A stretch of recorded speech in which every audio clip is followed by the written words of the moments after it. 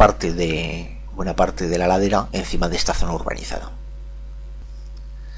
Bueno, vamos a estudiar ahora la sismología y las ondas sísmicas.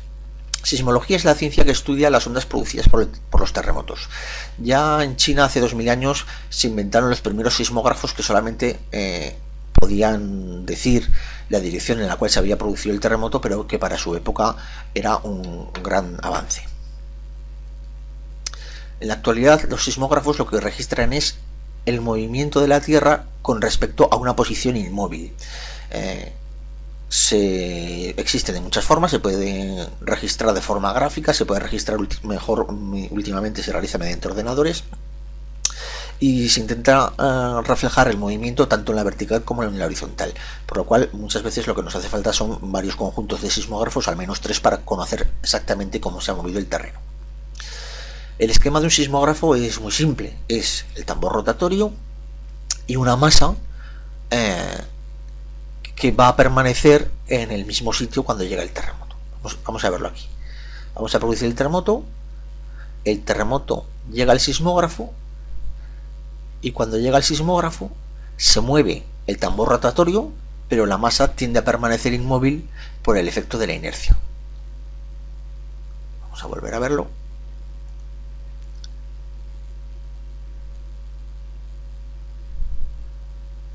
Este caso estaríamos eh, observando el movimiento en, la horizontal registrado por este terremoto.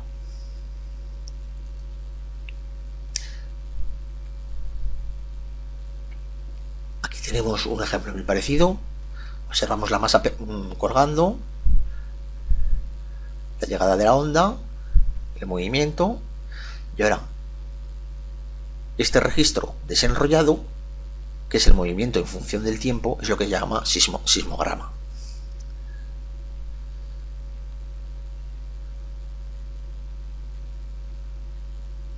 Obsérvese que es el movimiento del terreno en función del tiempo, lo que conocemos por sismograma. Y aquí tenemos un caso de sismógrafo en vertical que lo que intenta registrar es la otra componente del movimiento. Cuando encuentro, cuando observo un sismograma, que sería esto, pues observo que existen varios tipos de onda, que luego hablaremos de ellas, las primeras que llegan, luego llegan otras con otras diferentes características que se llaman ondas secundarias, y después unas ondas mucho más intensas donde el movimiento del terreno es mucho más amplio, que se llaman ondas superficiales. Vamos a estudiar primero las ondas internas. Las ondas internas son las que viajan por el interior y alcanzan la superficie, pero esto no quiere decir que solo viajen por el interior, sino que también pueden al llegar a la superficie desplazarse por ella. Hay dos tipos basados en cómo se trasladan las ondas P primarias o longitudinales y las ondas S secundarias o transversales. Vamos a ver cómo son. Estas son las ondas eh, primarias. Lo típico de las ondas primarias es que las partículas de la roca se desplazan hacia adelante y hacia atrás en el sentido de desplazamiento de la onda. Es decir, si esta flecha representa el, eh, la dirección de desplazamiento de la onda sísmica, como podemos ver, las partículas se desplazan eh, hacia adelante y hacia atrás, es decir, de forma paralela a cómo se produce el desplazamiento de la, del rayo sísmico, podríamos decir. Aquí podemos observar lo mismo, si nos fijamos en una partícula, estas partículas van en la misma dirección, hacia adelante y hacia atrás, que eh, el rayo sísmico. Aquí podemos ver un ejemplo. Se trata de que la roca sufre una serie de compresiones y descompresiones a lo largo del eje del movimiento de la onda.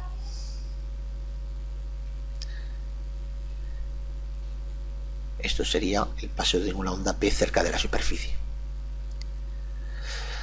Las ondas S, también llamadas secundarias transversales o de cizalla, tienen como característica que las partículas lo que hacen es moverse de forma transversal. En este caso, si este es el rayo sísmico, es decir, las ondas se desplazan en este sentido, aquí las partículas se mueven hacia arriba y hacia abajo perpendicularmente a la pantalla que está usted observando. Es decir, sería como eh, el agua eh, o muy parecido a lo que podemos observar en la superficie del agua. Se mueven eh, de forma perpendicular a como lo realiza el rayo sísmico.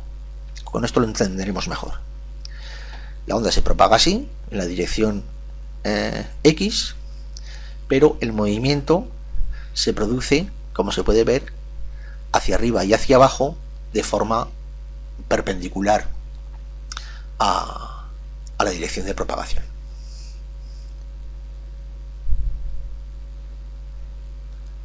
tenemos el desplazamiento de una onda S por la superficie.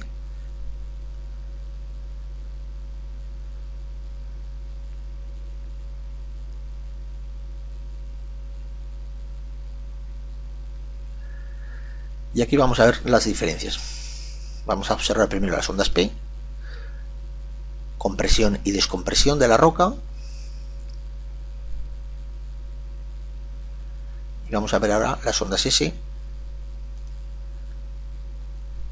movimiento hacia arriba y hacia abajo perpendicular a la dirección de propagación de la onda. Hay diferencias en cuanto a aparte de la forma en las que se en, la dinámica propia de la materia dentro de la onda. Eh, por ejemplo, las ondas P son capaces de transmitirse en sólidos y líquidos, mientras que las ondas S solo se transmiten en sólidos. Las más rápidas son las primarias y tienen una amplitud menor, es decir, la altura o digamos la, la, intensidad eh, es, menor en, en las ondas P que en las ondas S. Y nos quedan ahora por ver las ondas superficiales. Las ondas superficiales tienen como característica que solo solo se transmiten por la superficie, no se pueden transmitir por el interior. Son las que mayor causa, eh, causan la mayor destrucción, ya que son mucho, tienen mucha mayor amplitud, es decir, el terreno eh, se mueve más hacia arriba o hacia abajo y son además de velocidad más lenta. Vamos a ver aquí los dos tipos que existen. Existen las ondas Rayleigh. Estas ondas son iguales, exactamente iguales que las ondas que se producen en las superficies de los líquidos, lo que pasa que aquí estamos hablando de superficies de, de, materia que es sólida. Observar que aquí en esta zona baja, que esto es lo que lo diferencia con respecto a las ondas S, en esta zona baja hay un nivel en el cual no existe variación de la roca, mientras que las ondas S sí. Existe otro tipo, que es las ondas Love, Love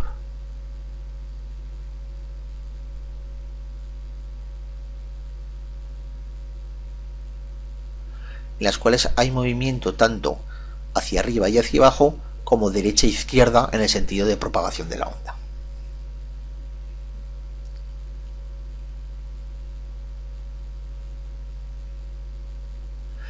De forma que una zona suele ser castigada primero por unas ondas, como veremos ahora, por diferentes ondas. Las primeras que llegan a un sitio son las ondas primarias, luego las superficiales, perdón, luego las secundarias y luego las superficiales. tenemos las P, las S y seguidamente las de superficie. La distancia entre ambas, el tiempo que eh, separa unas de otras, es mayor cuanto mayor es la distancia del terremoto.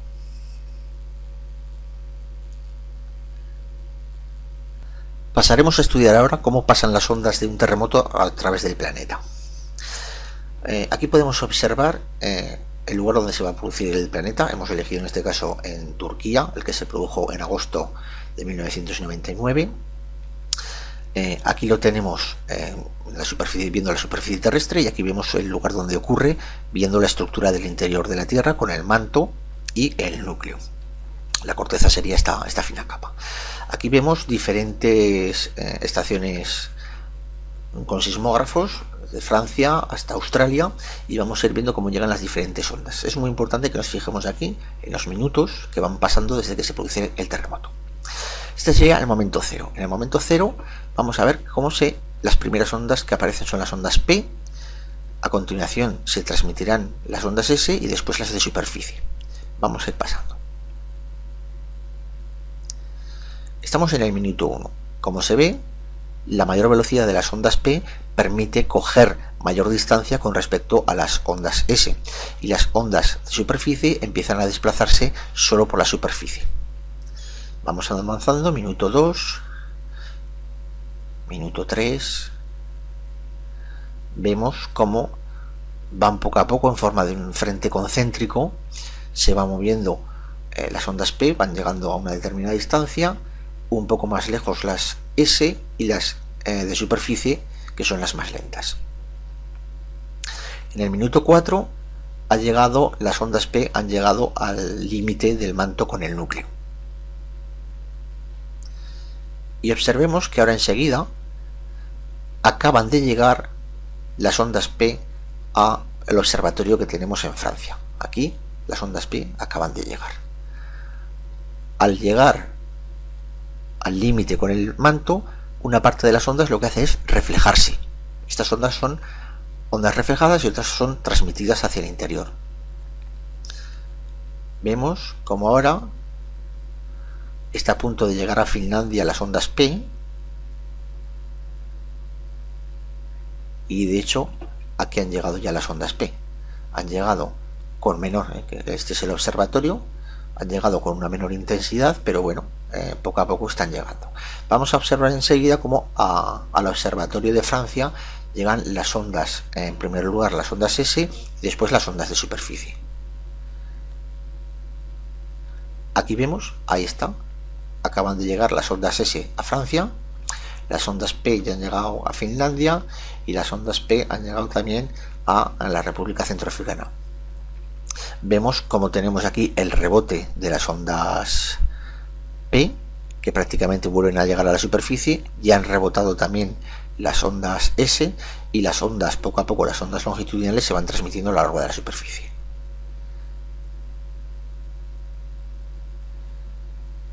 Y ahora aquí podemos ver cómo a Francia acaban de llegar las ondas de superficie. Vemos una amplitud mucho mayor de movimiento del terreno que las ondas P y que las ondas S.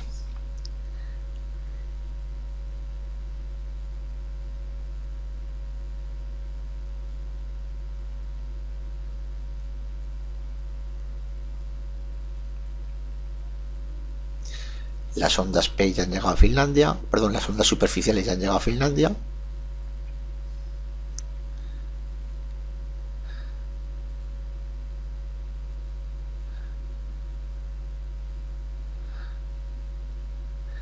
Y como vemos ya, las ondas superficiales también han llegado a la República Surafricana, bueno, a la República Centroafricana.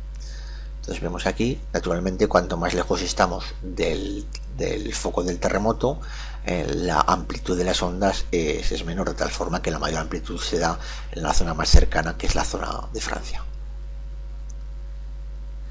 A poco a poco pasando el terremoto, llega un momento que ya desaparece la oscilación en Francia, como podemos ver aquí, ya empieza a desaparecer. Hay un momento donde en Finlandia es más amplio. Terminan de pasar las ondas S, perdón, las ondas eh, primarias en Finlandia. Y ya prácticamente podemos ver que todas las ondas eh, S y P han llegado a todas las partes del planeta, es decir, han llegado a atravesar el planeta, aunque podemos ver que algunas zonas eh, existen donde no han llegado algunas ondas. Ahora lo veremos mejor.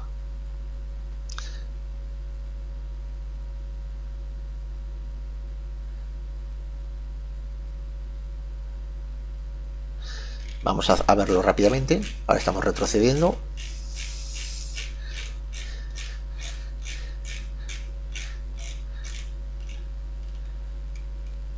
Y vamos a ver cómo se produce de forma normal. Se produce el terremoto.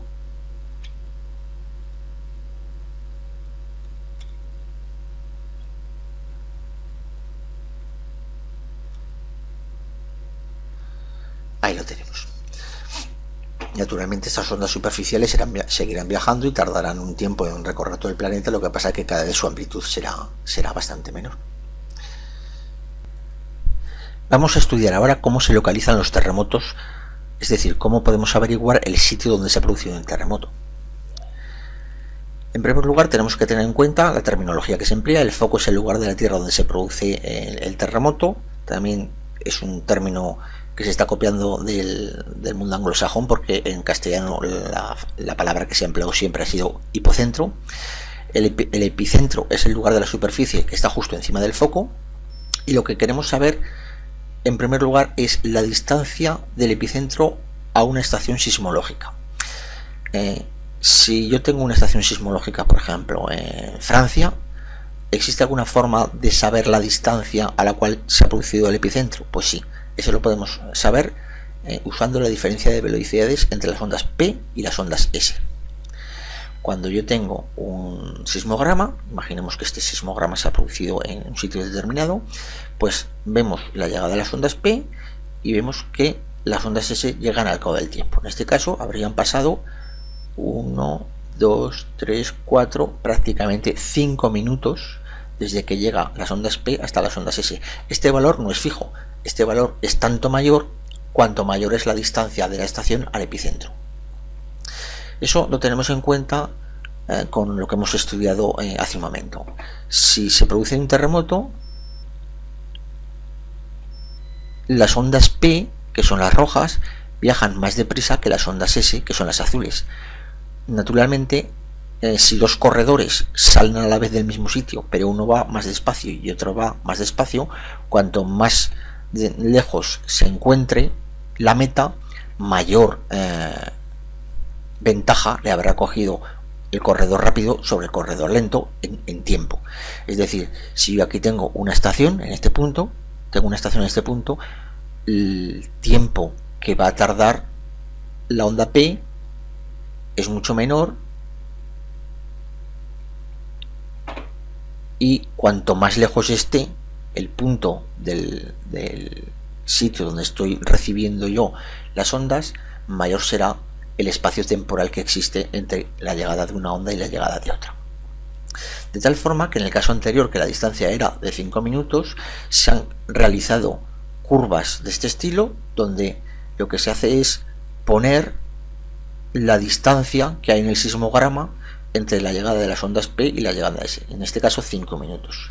Como hay 5 minutos, la distancia es de 4.000 kilómetros. Es decir, sabemos que se encuentra el epicentro a 4.000 kilómetros de ese punto. ¿Qué ocurriría si hubiera sido de 2 minutos la, la, diferencia entre las ondas P y las ondas S? Pues estaríamos aquí, 1 y 2, por lo tanto estaríamos hablando de 1.000 kilómetros de distancia. ¿Y qué ocurriría si fuera de 4 y medio? Pues estaríamos aquí, 1, 2, 3, 4. Con este poco y este poco, 4 y medio, estaríamos hablando de 3.000 kilómetros de distancia.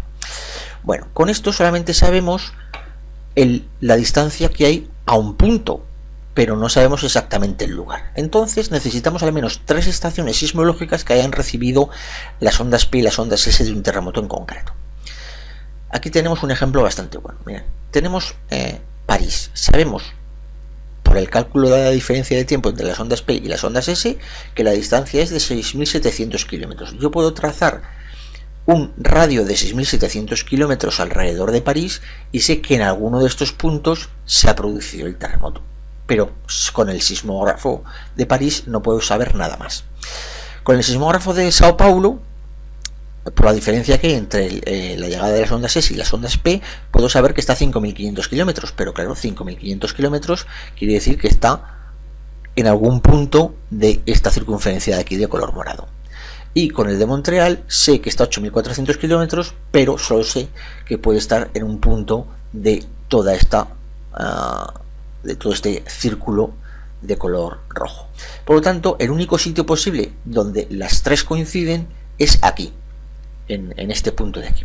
¿Por qué no basta con dos? Porque con dos tendríamos un punto en un sitio y otro punto en el sitio contrario de la Tierra. Y solamente con tres estaciones nos queda claro